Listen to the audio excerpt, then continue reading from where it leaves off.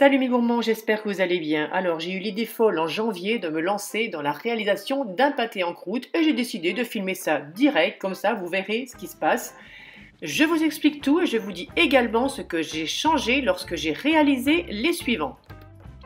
Alors ce jour-là, j'ai décidé d'utiliser les morilles, parce que oui, hein, soyons fous, on tente, on fait un essai, tant qu'à faire, on utilise des morilles. Donc je les ai réhydratés sur les conseils du sachet, je les ai laissés tremper dans l'eau chaude à peu près, il me semble c'était une demi-heure, et j'ai mis de côté.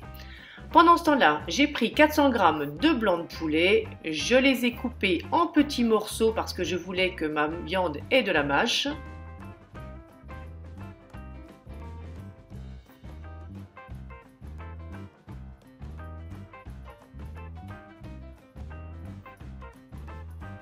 Vous allez réaliser des cubes d'à peu près 1 cm de côté. Pour l'instant, on le réserve. Viande suivante, on passe à la poitrine de porc. Alors attention, on prend de la poitrine de porc fraîche. Là, je vous rassure, je n'ai pas utilisé tout le morceau parce qu'il faut retirer dans un premier temps donc la couenne et il faut également retirer les cartilages qui sont à l'intérieur. Mais une fois tous les déchets retirés, vous devez avoir encore 400 g de viande. Alors là, c'est pareil, je l'ai coupé au morceau parce que à l'époque, je l'ai passé au mixeur. Mais depuis est arrivé dans ma cuisine, moi qui suis adepte des terrines maison, le hachoir. Je vous le mets en incrustation dans la vidéo. Donc c'est franchement plus facile à faire et à la dégustation, à la mâche, je trouve ça plus sympa. Bref, vous allez mettre dans la cuve de votre robot votre porc haché avec du sel et du poivre. Ne vous inquiétez pas, comme à chaque fois, vous retrouvez la liste des ingrédients sous la vidéo. Et avec l'accessoire feuille, oui oui, le même que vous utilisez pour faire vos pâtes à tarte, vous allez, laisser tourner pendant quelques minutes le temps que le sel et le poivre s'amalgament bien dans la viande. Vous allez ensuite ajouter 40 g de crème.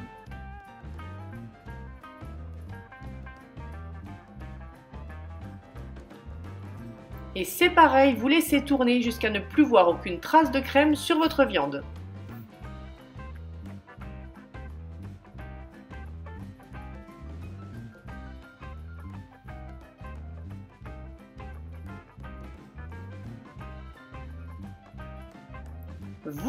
Ensuite deux œufs, mais attention, vous les ajoutez un par un. Même principe que la crème, quand vous voyez plus de traces d'œufs, vous ajoutez le second.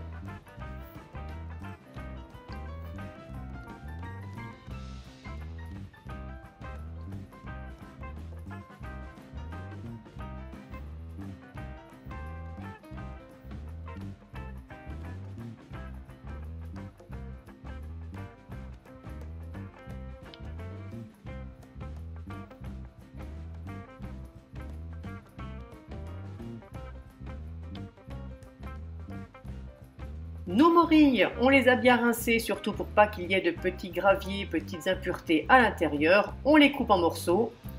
Alors, petite information, je vous avais dit que je vous informerai au fur et à mesure. Dans les terrines suivantes, eh ben, j'ai pas remis de morilles parce que franchement, le goût, on l'a pas senti.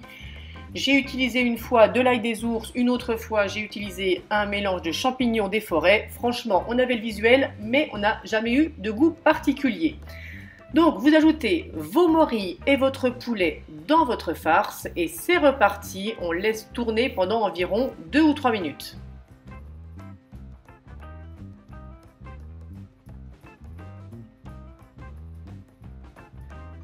Quand c'est terminé, vous mettez votre farce de côté. Autre astuce, le pâté en croûte suivant que j'avais fait, parce que j'en ai refait quelques-uns depuis, j'avais mis macérer mes petits morceaux de poulet avec une cuillère à soupe de cognac. Et eh ben c'était pas mal du tout la dégustation. À vous de voir. Donc comme je vous disais, on met la farce de côté et ce coup-ci, on va réaliser la, bah, la, pâte de notre pâté en croûte. Donc dans la cuve du robot, vous allez mettre 330 g de farine ainsi que 10 g de sucre, 75 g de lait. Vous incorporez également un œuf ainsi que 165 g de beurre pommade. Bon ok, j'ai un peu oublié mon beurre dans le micro-ondes. Il est un peu au stade supérieur que pommade, mais c'est pas grave. Toujours avec la feuille du robot, mais bon, je vous fais confiance, vous l'avez lavé entre deux. Vous laissez tourner la pâte juste le temps qu'elle soit amalgamée. Attention, pas plus longtemps, il ne faut surtout pas trop la travailler.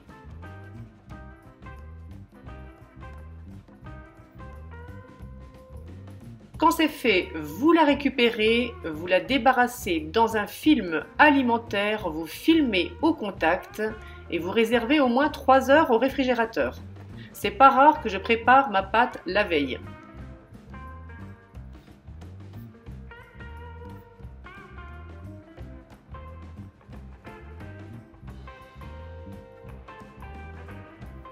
Il ne vous restera plus ensuite qu'à l'étaler sur un plan de travail fariné sur une épaisseur de 3 à 4 mm.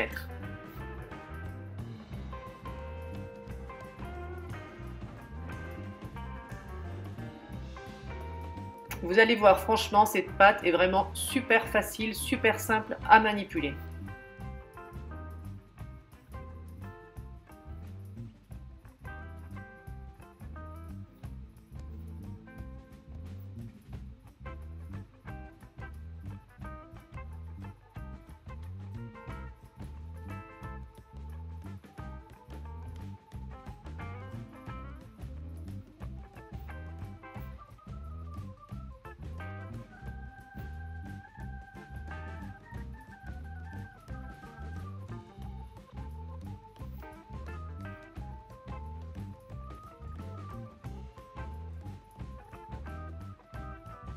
Vous allez venir ensuite la déposer dans un moule beurré. Ben, moi j'utilise tout simplement mon moule à cake.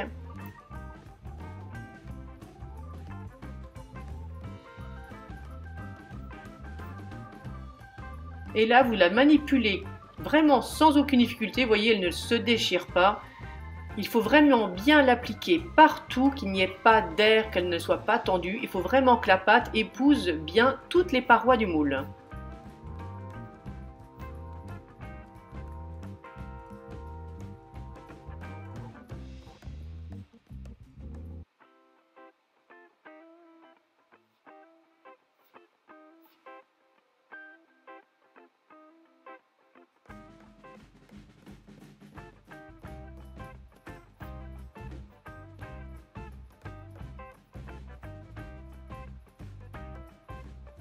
Quand c'est fait, on retire une partie de l'excédent qui va nous servir à former le couvercle du pâté en croûte.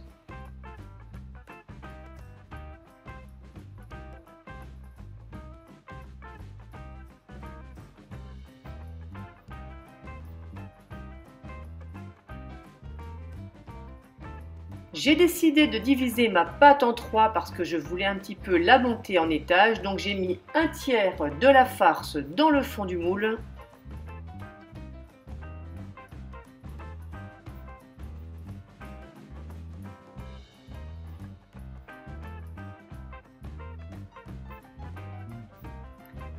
J'ai disposé ensuite des aiguillettes de canard.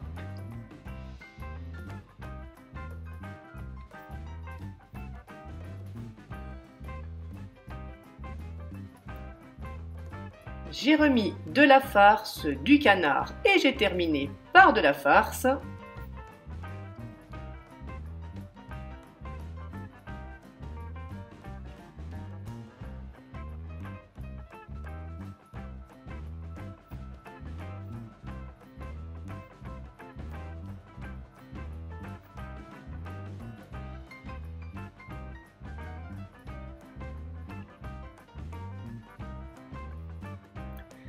Et maintenant, on vient fermer le pâté en croûte avec un rectangle qu'on a détaillé dans le restant de pâte.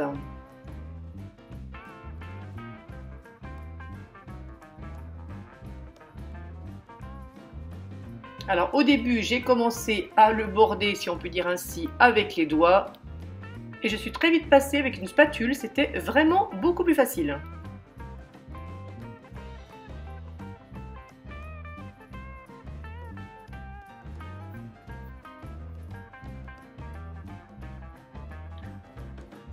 On retire encore une fois l'excédent de pâte, on laisse à peu près 2 à 3 cm sur les côtés.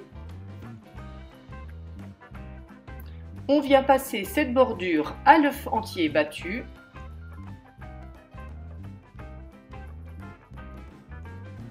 Et on va le replier pour former un boudin.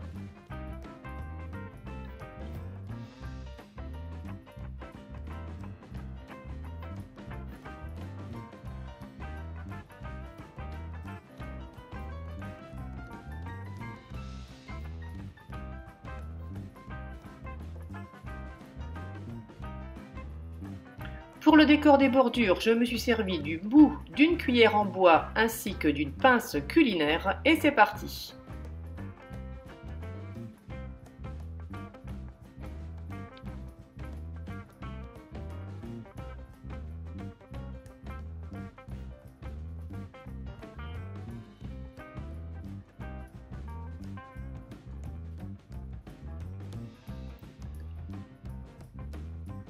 Pour que la vapeur puisse échapper à la cuisson et ne pas trop mouiller la pâte, vous allez réaliser trois cheminées sur votre pâté en croûte.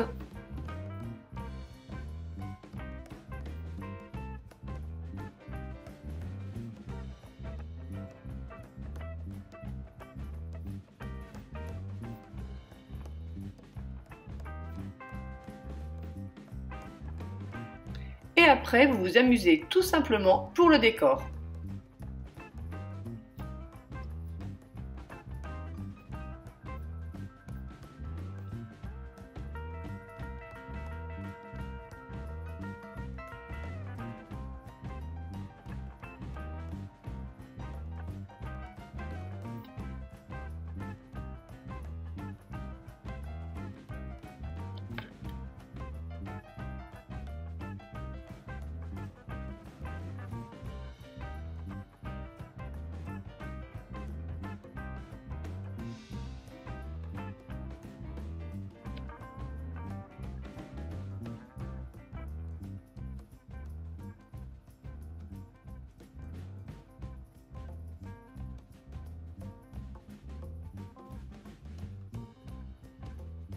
Pour la cuisson, vous allez réaliser trois cheminées en papier sulfurisé que vous allez donc mettre dans les orifices sur le dessus de votre pâté en croûte et direction le four 1 heure à 180 degrés.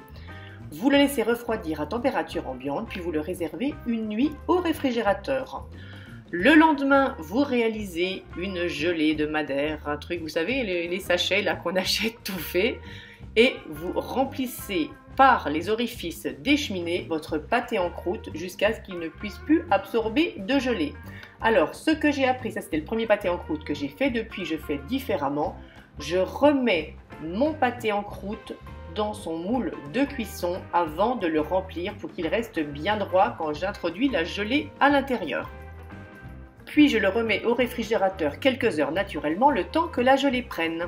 Voilà la coupe du dernier que j'ai fait. Là j'avais fait macérer ma viande, j'avais mis de l'ail des ours dedans. Vous pouvez mettre également des fruits secs, des noisettes, bref, faites-vous plaisir, c'est le principal. Voilà mes loulous, j'espère que cette petite vidéo vous aura plu. Moi je vous dis à très vite pour une prochaine gourmandise et je vous fais de gros bisous sucrés à tous.